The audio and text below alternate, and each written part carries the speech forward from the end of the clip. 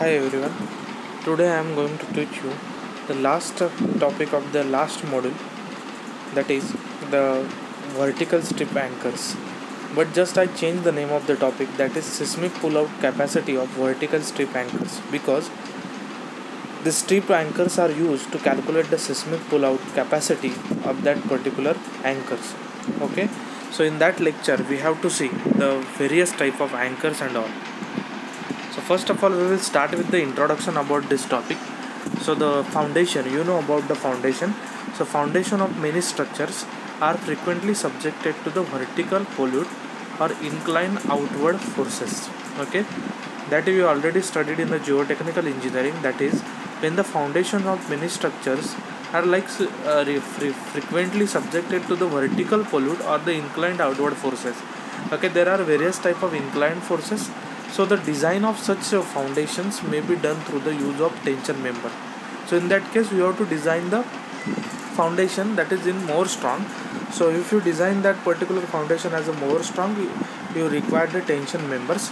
So if you require the tension members uh, then these members tries to come out of the ground. Hence these are sufficiently embedded in the soil. Okay this tension member are what? Sufficiently embedded. It is sufficiently poured in that particular soil to resist the outward forces. What are the outward forces that are resist on that particular structure? Or we can say that foundation. That is uh, we can say when it is poured into that particular ground only then it is resist all type of outward forces are called as ground anchors or earth anchors. So such material or such we can say uh, component is called as what? Ground anchors or earth anchors. Okay then these anchors are used to transmit a outwardly directed load to the soil at a greater depth and or the further away from the structure okay? What happens such type of ground anchors or the earth anchors are used to transmit the outwardly directed load to the soil at a greater depth okay? Always remember it is act in a greater depth not in a short shorter depth like any of the another method okay and further away from the structure. And it is maybe we can say transmitted to the further away from that particular structure. So what we conclude from this slide what you understand first of all you know there is a different types of foundation. Again the foundation is depend upon the type of soil. Again the type of soil is depend upon the properties of the soil. There are various type of property engineering property as well as what? Uh, index properties. So you have to determine with the help of that so which type of foundation you have to provide it over there? So in such type of design foundation you require the tension members.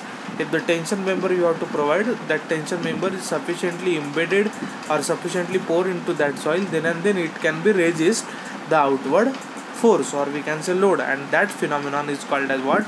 Ground anchors or earth anchors. And these anchors are used to transmit the load directly on the soil or to the we can say near into that particular structure or further away from the structure.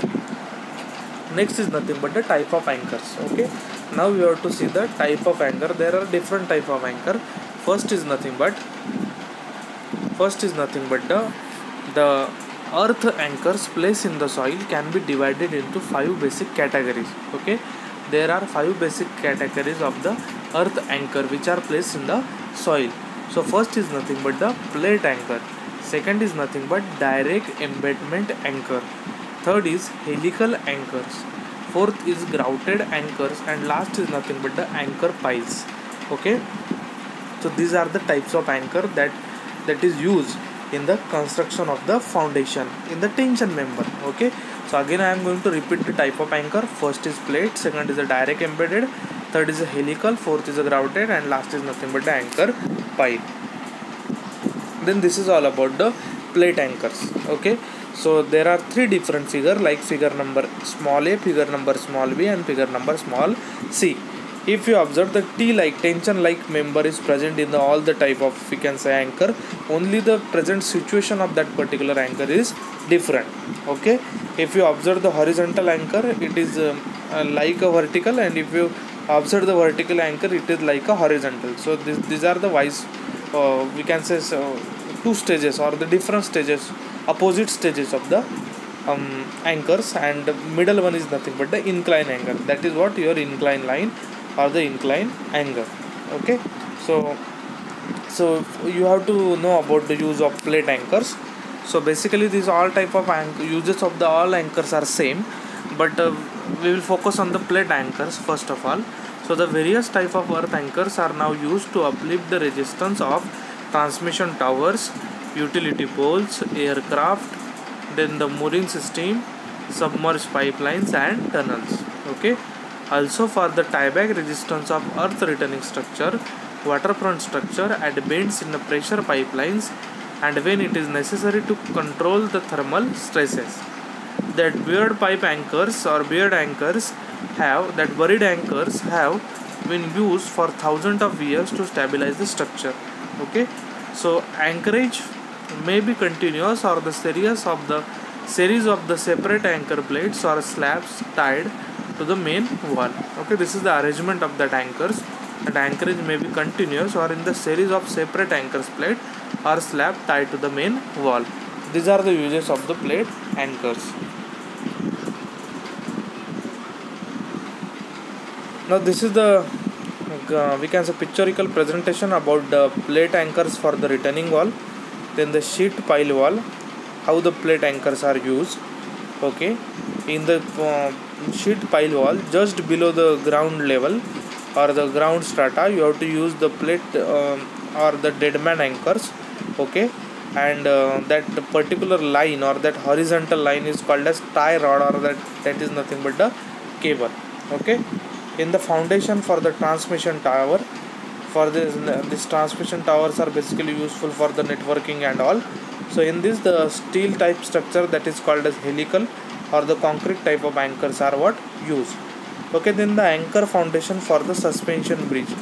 Okay if the suspension bridge, bridge is there then in the starting point in the starting point of that particular bridge the anchors are or anchorage are used okay so these are the we can say with the help of picture we understand how to use or uh, where it is used exactly such type of anchorings. Next is nothing but the tunnels and water pipelines where the anchorage are used. Okay if you observe the in the tunnel also in the midway section the plate anchors is used. Then the plate anchors are also used in the water pipelines. Then the plate anchors for waterfront structure. And then plate anchors for the soil stability in the foundation okay so these are the different uses about the plate anchors for the various section like tunnel then the water pipeline then the waterfront structure then the soil stability in the foundation. The next is nothing but the what is the aim and objective okay? So what is the aim and objective about this vertical uh, anchors and all? So that is nothing but to find out the seismic pull out factor. That seismic pull out factor is denoted by f gamma d okay? So then uh, of a vertical strip anchor then to study the failure geometry of the vertical strip anchors under seismic condition. If it is fail then what is the reason behind that? That you have to find out with respect to the geometry of the vertical strip anchors under the seismic condition okay? Then the use of Kötter's equation. You know about the Kötter's equation is already used in the mathematics that is 1903 to obtain the uniform pressure on the failure surface under the seismic condition okay? Then use of pseudostatic and pseudodynamic approach to obtain f gamma d that is nothing but to find out the seismic pull out factor okay? So pseudostatic and pseudodynamic approach to obtain the seismic pull out factor and to proper design charts of vertical strip anchor under the seismic condition okay? If suppose you have to design this particular proper design charts for the vertical strip anchors or the under seismic condition that then you have to go through that particular method that is aim and objective for the same. Then the scope of work. If you select such type of anchors to improve the ground whether it is scopable work or the not that is nothing but the development of the close from analytical solution for evaluation of the seismic pull-out capacity of the shallow vertical plate anchors subjected to the horizontal load under the static and seismic conditions using both pseudostatic also and pseudodynamic approach also. Okay so the scope of work is large then the application of Kötter's equation that is 1903 equation to evaluate the soil reaction on the failure surface. So this is all about the scope of the work. Okay? So in this way your entire uh, model number 6 is also get covered. I hope you everybody enjoying this uh, video session uh, through your uh, moodle accounts. Okay? So you have to prepare for your examination in the well manner. If you have any doubt you can feel free to ask on the whatsapp or the email